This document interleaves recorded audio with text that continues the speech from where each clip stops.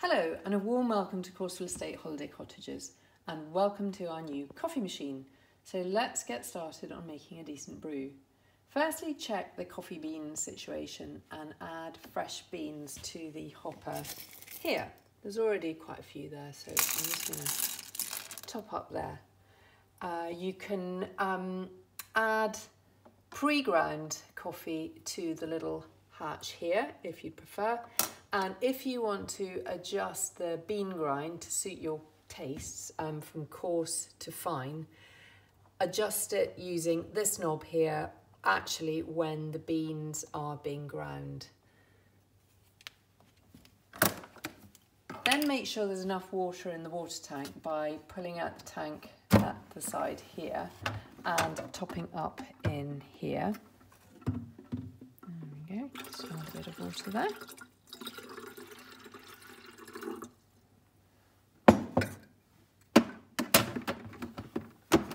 And it slides in and out quite easily.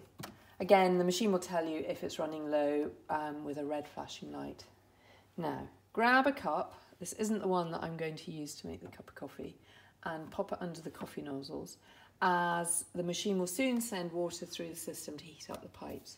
And putting a cup underneath stops the tray getting too full of water. Switch the coffee machine on here and it will start to warm up and will indicate when it's ready to, to make the coffee when it stops flashing.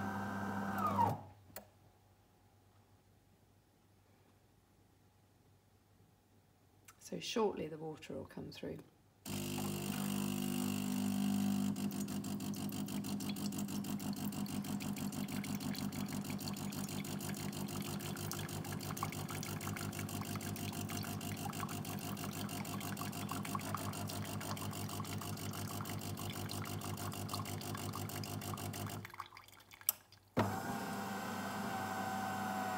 We go.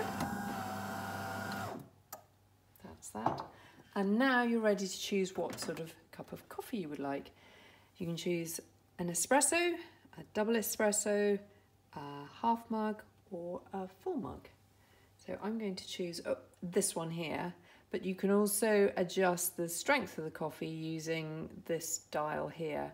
And we like it just off, slightly off um, the center towards the right.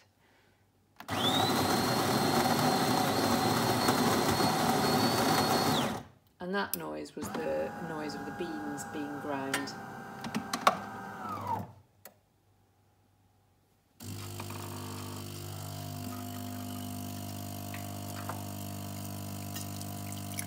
There's the coffee coming through.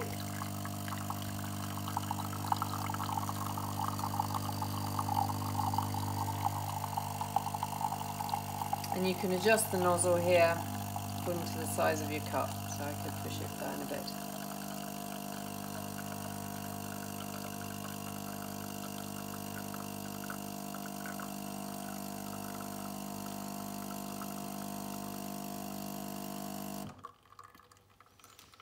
There we go.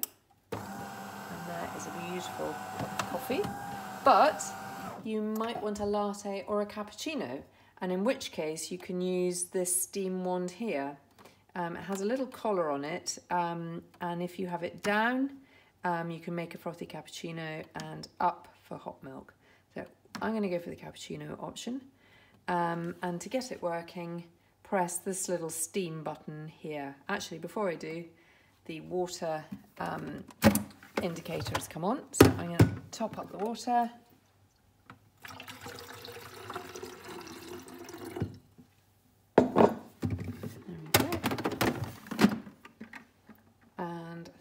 to roll. Right, press the steam. Um, I've got a little jug of milk here, already prepared. And it will, it's ready when this starts flashing again. Right, it's flashing, so I'm going to turn this dial here to one. Do mind out because it is pushing hot steam through the wand.